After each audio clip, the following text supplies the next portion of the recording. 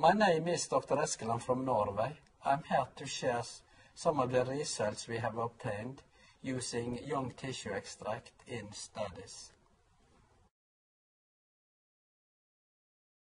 Young tissue extract, for short we call it YTEs, is the new formed material from incubated eggs. Those eggs are of course fertilized.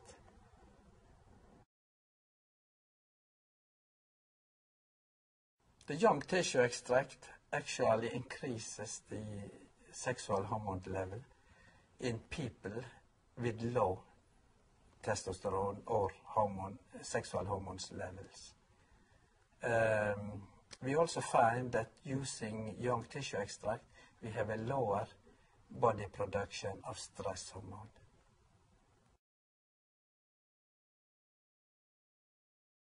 The building materials for stress hormone as well as sexual hormones are identical. It's derivative from cholesterol.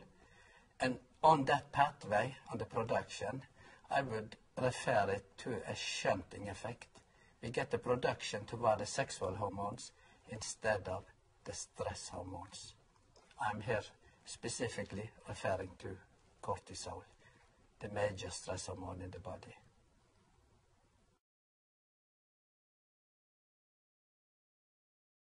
Through the years, we have uh, done several studies on sexual desire in men as well as women, and we realize those people are, uh, we get increased sexual desire and even the ability to perform sexually. Yes, we have had several studies involved with women, and they have also very positive effect of taking, especially the middle-aged women. Women will experience uh, better sexual desire, better uh, self-esteem, for instance, everything about their quality of life, I would say.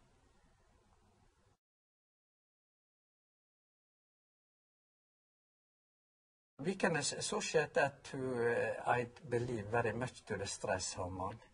The body produces less stress hormone, uh, especially cortisol, and we know that cortisol is very has many catabolic or negative effect on several uh, criteria of uh, like life quality aspects. Yeah, we have also done a quite a few studies in sport nutrition, even at the University of Oslo, different uh, institutions around the world. And the first uh, thing we realize when using YT in sport nutrition is that we have a lower production of stress hormone generally. That affects especially the restitution time after a, a competition or a training or whatever.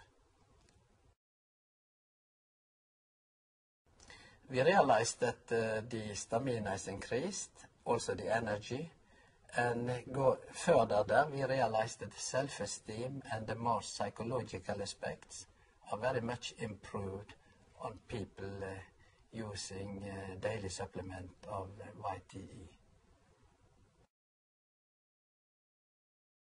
There is no negative side effect uh, from using YTE except that we recommend that people being allergic for egg protein should avoid taking the product.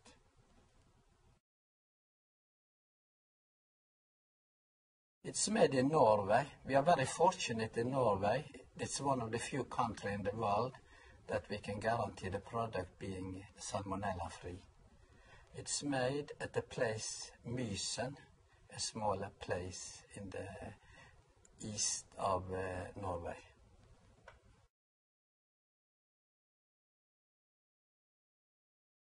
The birds are kept inside in houses and uh, very strict hygienic quality measurements are followed up and they are not exposed to migrating birds. In Norway so far we haven't had any incident of bird flu.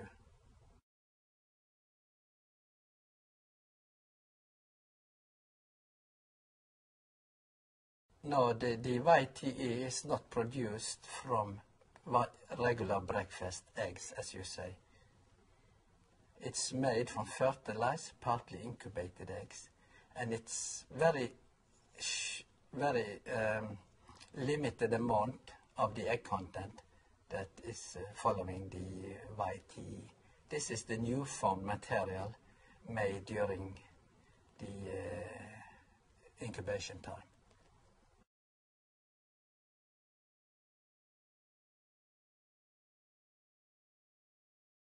We know that eggs are rather rich in cholesterol, but here we only use the the young tissue extract represent only the new form material made during the early incubation of the eggs. So there is absolutely no cholesterol in in uh, young tissue extract.